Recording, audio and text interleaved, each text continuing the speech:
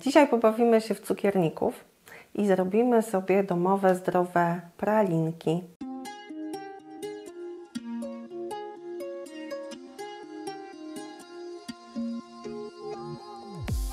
pralinki ze składników bardzo niespodziewanych i zaskakujących. Otóż te pralinki będą z cieciorki. Cieciorkę można sobie kupić w puszce i wtedy jest szybciej, a można ugotować w wersji ekonomicznej sobie samemu w domu i wtedy jest taniej. I z daktyli.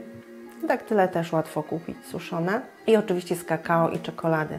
Zabawa czekoladą zawsze jest przyjemna i pachnąca i aromatyczna i na zimową porę bardzo polecam. Cieciorka dostarcza nam dużo błonnika i generalnie jest polecana nawet dla cukrzyków, jak wszystkie strączkowe. Daktyle dają nam cukier taki lepszy trochę niż ten biały w torebce i też nam dają dużo błonnika i smaku. E, możemy sobie do tych pralinek dodać swoje ulubione dodatki i posypki i przyprawy. To może być aromat pomarańczowy, mogą być wiórki kokosowe, może być chili, może być gruba sól, zależy z czym lubimy czekoladę. Życzę dobrej zabawy.